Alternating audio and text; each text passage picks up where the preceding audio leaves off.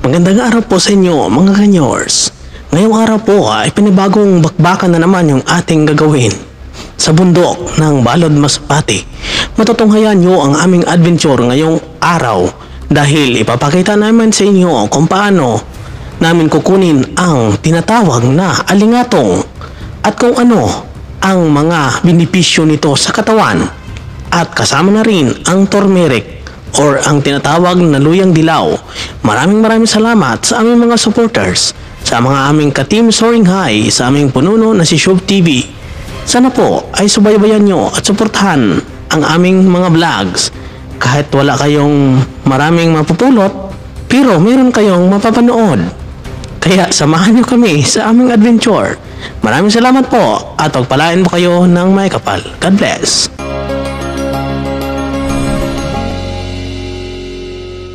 Huwag kalimutang mag-subscribe.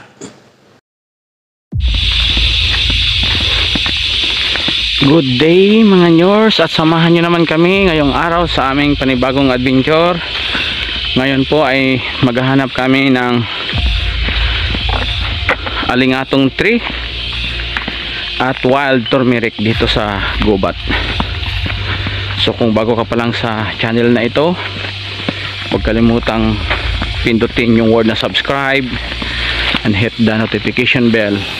Kasi nag-upload po kami ng video isa o dalawang video sa loob ng isang linggo. So as requested ng mga subscriber at ng mga kaibigan natin maghahanap kami ngayon ng ugat ng alingatong. So medyo masukal yung tatahakin natin ating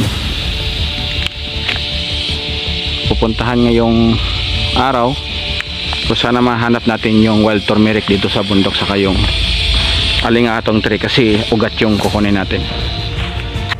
So actually madaling hanapin dito ang wild turmeric pero yung alingatong medyo medyo mahihirapan tayo. Ang dulo bala dito na itong damo.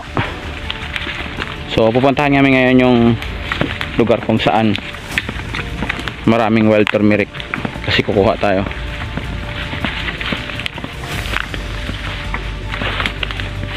Dahil sa mga sakit na nagkaka, nagkalat ngayon ah, kailangan ito tayo sa bundok hanap tayo ng mga alternative na pwede gawing food supplement. Puntahan namin ngayon kasi marami yan dito. Di ba damo na danoy ah hindi dito na.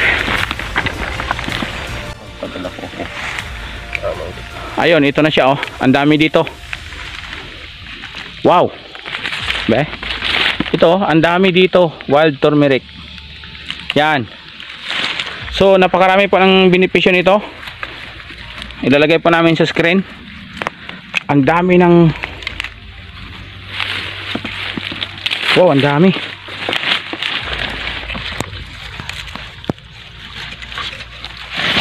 Ta.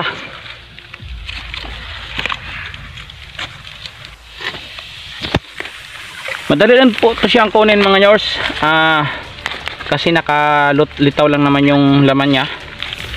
Pero after namin kunin ito, ito itatanim namin ito ulit. So hindi na kailangan mag-culture pag andito ka sa bundok. Ah, grabe. Ang dami. So hindi na kailangan mag-tanim nito pag andito ka sa bundok kasi nakaano lang ito dito. Nakakadat lang sa paligid. So napakaganda po ng health benefit ng tanim na ito. So sa mga sa ibang vlog nakikita ko pa itinatanim nila ito.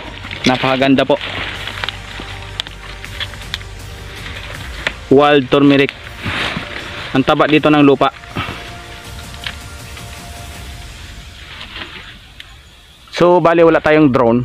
Ito yung makikita sa taas. Ito. At pagkatapos pag ibaba natin medyo masukal ang gubat na ito. Pero nasa ilalim po tayo ng niyugan.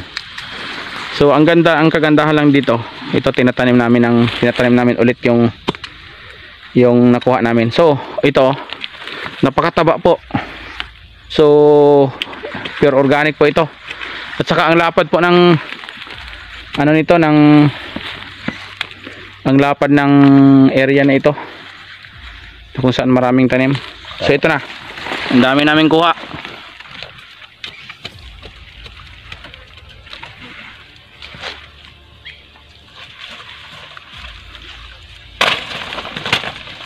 ano dag kong iba no Tapos yung yung puno nga. so galabas ang uno do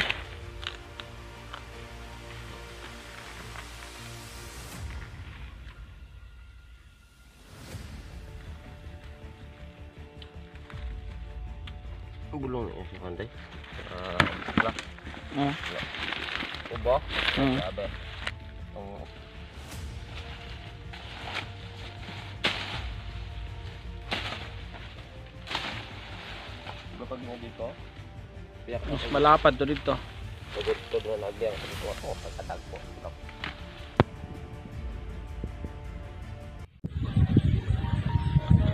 Ayun, time check it's 5:30 PM. At dito kami ngayon mag overnight sa bundok. Kasi hindi pa namin natagpuan yung alingatong tree. So bukas na bukas din ay maghahanap kami. Ang target namin ay mga ilog na kung saan may mga source ng tubig kasi sabi nga nila yung alingatong tree daw ay matatagpuan sa ilog. So ang hinahanap po ng natin yung ugat nun kasi nga dahil sa maraming health benefits yung ugat ng kahoy na yon so since napaka-rare dito sa ating lugar kailangan nating mag overnight at ah, maghanap kinabukasan so huwag kayong bibitaw dahil ah, aming pagsumikapan na makuha yon at mahanap yon bukas ng umaga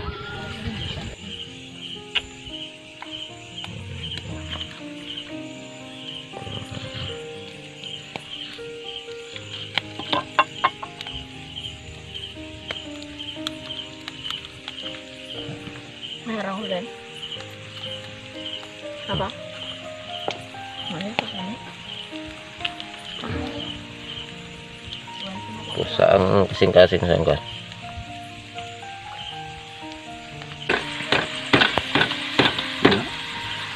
So gusto lang namin ipapakita sa inyo mga nyors ang aming buhay bukid dito. Ito yung pagkain namin ngayong gabi.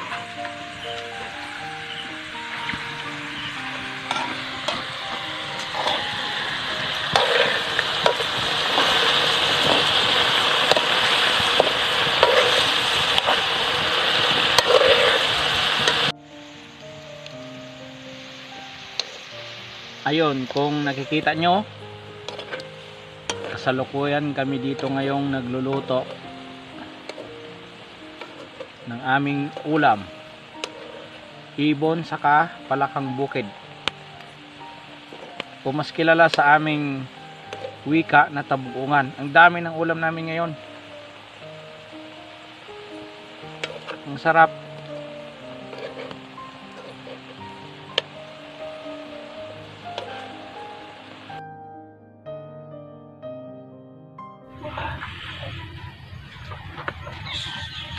Good morning yours. So, dito kami nag-overnight at isang malamig na umaga kasama ang kape. So, after nito, ah, ituloy namin yung paghahanap ng alingatong tray. So, sana matatag, matag, matag, matagpuan natin ngayong araw, ngayong umaga.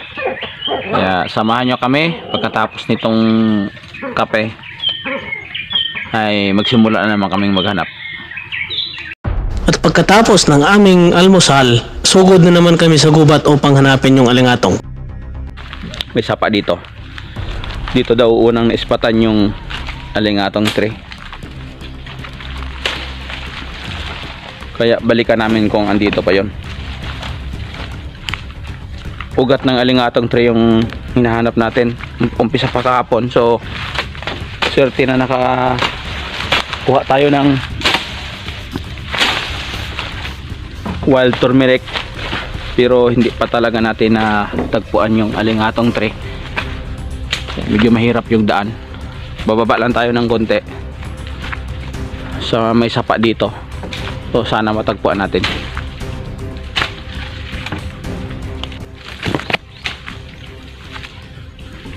Ito yung dadaanan namin pababa. Medyo mahirap yung daan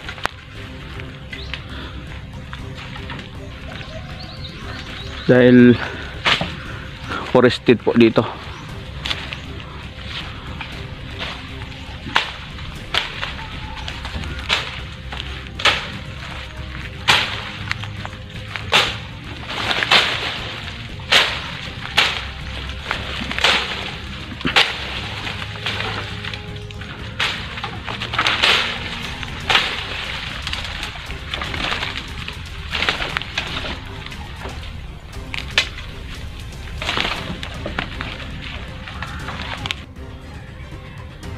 So ito yung Bulokawi, tawag sa amin. Kahirap ng daan pababa. Medyo madulas saka kailangan naming inisan yung dadaanan namin.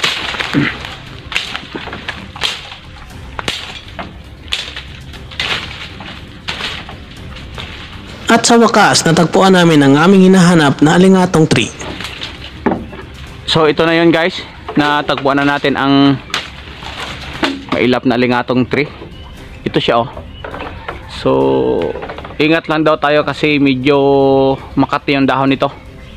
So ito oh. Ito ang hanapin natin kukuha tayo ng ugat. Inano mo pa na yun? Ina oh. so dyan oh. Marami sila oh. Saka ito. Ito na siya oh. Yan oh. Tingnan mo to. Oo. Ito, puno. Hmm.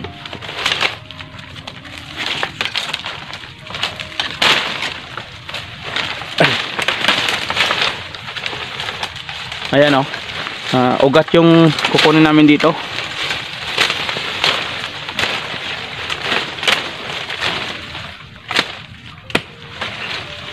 So nakita na namin yung alingatong dalawang araw na paghahanap.